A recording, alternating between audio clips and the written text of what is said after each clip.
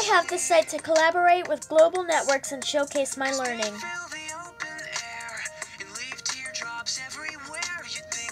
To navigate, click on one of the topics to the left. The first thing we will be learning about is our current world under modern me.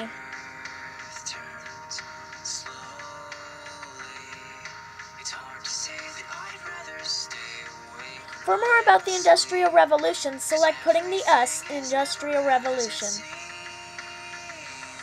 The next thing will be before brother fought brother, the Civil War, and the Reconstruction period. If World War I is your passion, then the Guns of August is where you're going to want to be.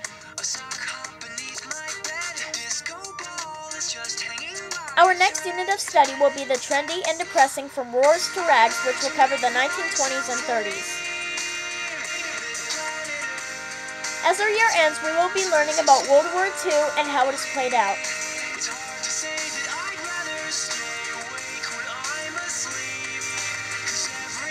I hope you enjoy my site and remember to always use proper etiquette. Thanks.